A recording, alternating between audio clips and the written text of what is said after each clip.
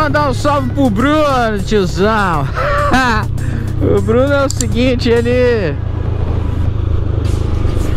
Polícia ali, tiozão. Tem B.O. aí, tio. O Bruno trabalha lá de, de motoboy lá no espetinho. Acabei de encontrar com ele. Não tava gravando, tiozão, mas tá aqui teu salve, é nóis. Muito obrigado pelo carinho, por acompanhar o canal. Ele é motoboy lá no espetinho, tiozão. Acabei fazendo a propaganda do bagulho. É isso aí, tio. É nóis. Um salve pra você, que Deus te abençoe e proteja aí nas suas entregas, tiozão. E é nóis, sempre, tamo junto.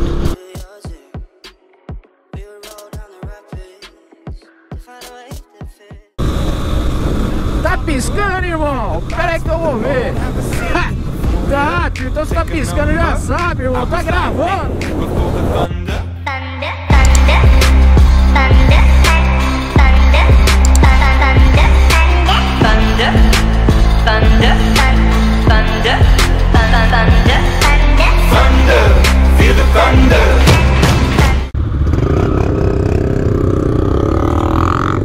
Parada em cima da faixa, tiozão. tá piscando? Tá, então você tá piscando, já sabe, tá gravando, tiozão.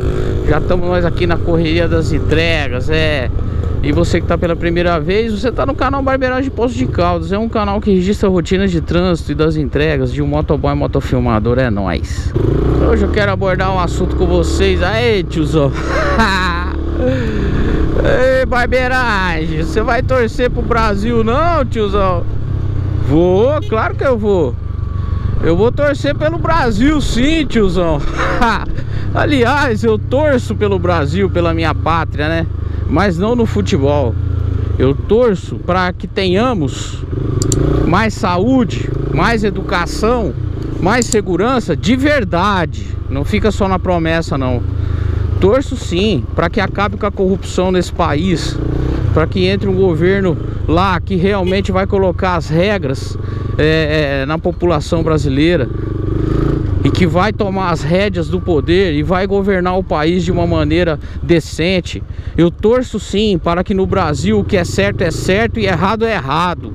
Entendeu? Eu torço sim para que todos os políticos vagabundos e corruptos sejam presos, independente se for de partido, se não for de partido, se for de partido A, de partido B. Eu quero que se dane. É bandido, é vagabundo, é corrupto, cadeia neles, tiozão.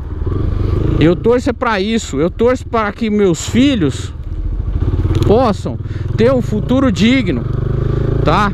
Com saúde educação, que eles possam ter um estudo. É para isso que eu torço. Eu torço para um país justo, onde o vagabundo vai na cadeia e o trabalhador seja, seja favorecido. Eu torço para que um cara no Brasil que queira colocar um caldo de cana, que queira viver honestamente, que queira vender. Ó o Mark. Salve tiozão, é nóis. Para que uma pessoa que seja, que queira realmente trabalhar honestamente, comprar uma mercadoria e honesta e vender e revender essa mercadoria, que ele possa ser valorizado. Esse é o, o, Brasil que eu torço. É para esse Brasil que eu torço. Eu sou patriota. Eu, eu, eu aprendi quando eu tava lá, acho que desde a quinta série, da quinta série em diante, eu aprendi. E aí, é nós, o Vitor do Santa Rosária, é nós, salve pra você, tiozão. eu aprendi desde a quinta série até as séries maiores, né? Que eu sou da época da quinta série da primeira série, né? Esse negócio de ensino fundamental, ensino médico, eu não entendo nada disso aí. Eu sou antigo. eu tenho 44 anos, tiozão. Eu sou das antigas. Eu nasci em 1974. Na minha época, toda sexta-feira, a gente é, colocava a mão no peito e cantava o hino nacional brasileiro. hasteava a bandeira. Uh, hoje é dia de hastear a bandeira. A gente vai lá cantar uh, o hino nacional brasileiro. Todo mundo tinha que saber de cor. Tinha que saber de cor o hino nacional brasileiro. Hoje eles não sabem de cor, eles sabem de cor o funk. Né? Nada contra quem gosta de funk, pelo amor de Deus. Né? Mas eles sabem até as músicas de cor que eles gostam, mas o hino nacional brasileiro eles não aprendem na escola. Pelo menos na escola que o meu filho tá, eles aprendem. Toda sexta-feira eu moro perto da escola lá, eu escuto é, eles cantando lá o hino nacional. Então é para esse Brasil que eu torço. Eu não torço para Brasil aí de Copa do Mundo, aqueles caras lá que você acha, rapaz, que os caras vão dar o sangue lá dentro lá do campo. É dividindo bola, arriscado ele ser lesionado para deixar de jogar no clube que paga milhões para eles por ano? você, vou ser sincero para você.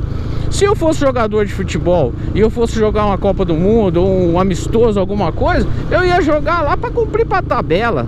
Você entendeu? Ia dar um toquinho aqui, um toquinho lá. Se tivesse correr para dar uma dividida lá com o zagueiro, eu não ia correr não, rapaz. Você acha que eu ia correr lá e, e, arriscar quebrar um joelho, quebrar uma perna, ficar lesionado aí, ficar dias afastados do que o meu clube lá que paga o salário para mim? Capaz, já foi a época do cara que é jogador de futebol, que é jogador de seleção brasileira, jogar com raça e determinação. Acabou, rapaz. Acabou isso aí. Para com isso, tiozão. Vai nessa, que o cara vai dar o sangue lá, vai lutar pela seleção brasileira. E tem outra. Os caras ganham milhões, parabéns para eles, mérito deles, que eles continuem ganhando milhões e que dobre os seus milhões, que passa a ganhar bilhões. Agora, eu torcer para esses caras, Ah, eu não vou assistir nenhum jogo da Copa, tiozão. Mas nenhum, nem do Brasil, nem de nada. Eu não vou torcer, não vou colocar bandeira. Eu coloco bandeira para defender o meu país, entendeu? Para ir alguma manifestação, pedir mais justiça, pedir prisão de corrupto, né? esse tipo de coisa. A hora que tiver uma dividida, que eles tiver que que ir pra cima do adversário para poder dividir uma bola, eles vão pensar, puta merda, cara, eu não posso entrar duro, mano. Porque se eu entrar duro aqui naquele cara, o que que acontece? Eu vou perder lá meus milhões lá que eu ganho lá, de repente eu fico aí dois, três anos sem jogar bola para me recuperar. Capaz mesmo, meu irmão. É assim que eles pensam, você pode ter certeza disso. Deixa eu fazer uma entreguinha aqui. Então, pessoal, o que, que é isso, tiozão? Por que não liga a seta, tiozão? Liga a seta pra, pra gente saber pra onde você vai, tiozão. Liga a seta. então é o seguinte, eu... Sinceramente, tiozão, eu... Eu não tenho a mínima intenção. E tem outra coisa, a gente vai comemorar o quê? Ah, o Brasil foi campeão da Copa do Mundo, tiozão. Os caras encheram os bolsos de dinheiro por trás desses, desses jogos, desses estádios, desse monte de coisa aí, da ida da seleção para fora. Tem isso aí, tá cheio de corrupção, tiozão. Tá cheio de acerto e dinheiro aí. Você entendeu? Aí depois os caras vão pagar lá de bonitão, lá ganhar a Copa do Mundo, porque foram campeão. Ô, Ricardo Teixeira, quanto de dinheiro que mamou na CBF? Quanto? Entendeu? Pra depois vir falar, foi campeão. Foi campeão os bolsos deles, tiozão. Eu não vou perder meu tempo, não. Pagando 5 reais a gasolina e torcer pra esses caras aí, mano. Vou nada. Ah, tiozão. Mas ah, o futebol não tem nada a ver com a situação política. Beleza, beleza, parabéns. Que bom que não tem nada a ver, né? Que bom que não tem nada a ver. Só que é uma opinião minha. É uma opinião minha. Eu não vou torcer, não vou torcer para a Copa pro Brasil na Copa do Mundo. Eu nem torço nem que ele ganhe e nem que ele perca. Para mim vai ser indiferente. Eu não vou comemorar aqui, ah, porque o Brasil ganhou. Se ganhou, deve ter tido algum acerto para algum lado aí, tiozão. Ou o juiz levou, porque futebol é outra coisa também. Você acha que tudo que gera dinheiro, você acha que não tem coisa obscura por trás, tiozão? Ah, capaz mesmo, ainda mais que quando mexe com milhões e bilhões, você entendeu? Aí depois os caras não sabem porque que o juiz apita uma falta que não houve, por que que apita um pênalti que não houve. Pode até ser que foi um erro do juiz, mas vai saber nesse Brasil que é corrupto, que as pessoas são corruptas, que todo mundo é corruptível, se não houve um acerto para ele poder entregar o jogo. Então eu vou torcer, perder meu tempo, torcer para seleção brasileira? Vou nada, tiozão. Eu vou é trabalhar entendeu? É trabalhar durante o jogo, tomara que venda um monte de marmita que eu vou sair para entregar. Se o patrão falar, não, pode sair, eu vou sair. Eu vou defender o meu pão de cada dia e levar o sustento da minha família para minha casa. É isso que eu vou torcer. Eu torço sim por um Brasil Eu sou patriota, mas eu torço por um Brasil de verdade, não de jogo de futebol. Eu torço por um país que eu vivo, que eu nasci, que eu cresci e que fui educado aqui dentro desse país.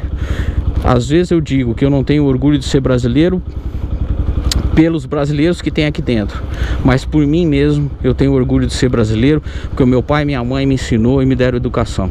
Beleza? Essa é a minha opinião. Diga não a torcedor de Brasil, de Copa do Mundo. Tô fora, tiozão. Tô fora. Isso aí foi uma coisa que inventaram só para vocês esquecerem os problemas do Brasil. Sai dessa, tiozão. Pra mim não cola isso não. de jeito nenhum. É nós.